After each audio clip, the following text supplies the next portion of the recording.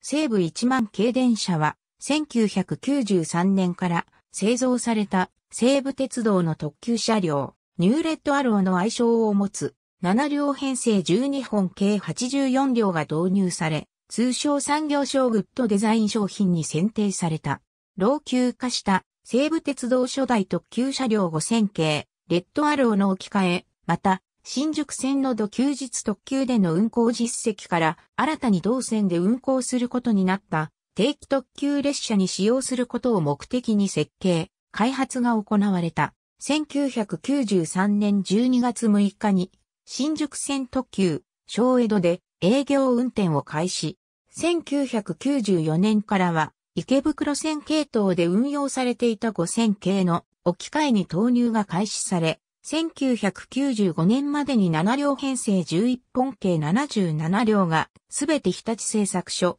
風戸事業所で製造された。2003年に引き続き日立製作所で、追加製造された11112編成は仕様が変更されたほか、営業開始以来設定されていた4号車の喫煙車も2006年10月1日より設定が取り消され全車禁煙となった。後継となる新型特急車両001系電車、ラベの投入に伴い、余剰となった車両に廃車が発生している。2020年3月13日をもって池袋線、西武秩父線における定期運用を終了した。製造、保守面での合理化、経費削減、平準化、走行の安定化を目的に101系、新501系、5000系の機器類が流用された。MT 比は4、3都市、電動化無軸多段抵抗制御による主制御機を搭載する。台車は、住友金属工業製空気バネ台車で、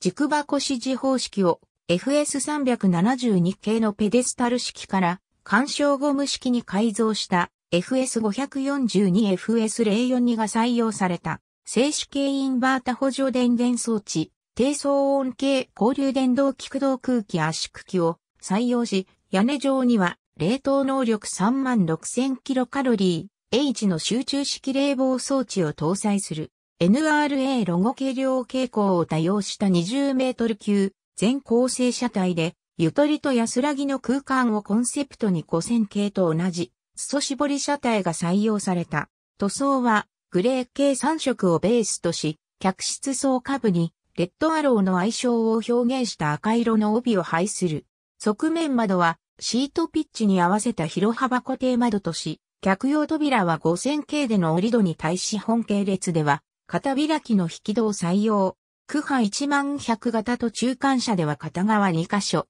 区波10700型では片側1箇所配置とした。両先頭車の車体後部には NRA ロゴが配された。運転台は高運転台構造を採用。全消灯はシールドビームを採用するが、10101編成は試験的に HID ランプの搭載実績がある。ドア切り替えスイッチ座席はグレー系の濃淡色モケットを用い、枕部分に盛り上がった独特な形状のフリーストップ式リクライニングシートを横にプラス2列の4アブレストで配置。背面にはテーブル、座席下にはバー式のフットレストを設置する。シートピッチは5000系の 930mm から 1070mm に拡大された LED 式車内案内表示器、車内自動放送装置を搭載する清涼飲料水自動販売機、テレホンカード式公衆電話、トイレは両端制御車デッキ部に設置されるが、以下の仕様となる。また区波10100型には、車椅子利用を考慮して、対応座席と客用扉、デッキ客室間仕切り扉を他車両より広く取るなどの差異がある。カーテンは巻き上げタイプを採用。客用扉は全車1.35.7号車、1.7号車とする3種類の開閉方法を選択可能である。11112編成11112編成では以下の設計変更が行われた。更新後車内2003年度から2008年度にかけて内装を11112編成に合わせた以下の更新工事が施行された。6000K で施行されたモニタ装置のディスプレイ換装や2008年に一般車両の多くで実施された行き先表示記事幕、交換は未施行。NHK 連続テレビ小説、翼から10111編成10107、編成のある町、秩父長瀞2011年8月29日、所沢駅のある町、秩父長瀞1107編成1105、編成レトアロークラシック2012年1月17日、富士見台駅、レッドアロークラシック1105編成1103、編成プラチナエクスプレス、秩父バージョン2017年3月25日物資駅、プラチナエクスプレス、秩父バージョン1103編成1104、編成プラチナエクスプレス、川越バージョン2018年5月12日、池袋駅、プラチナエクスプレス、川越バージョン1104編成1109、編成ラブライブ、サンシャイン。2017年使用2017年9月16日、小手差し駅1102編成ラブライブ、サンシャイン。2018年使用2018年5月26日、東長崎駅、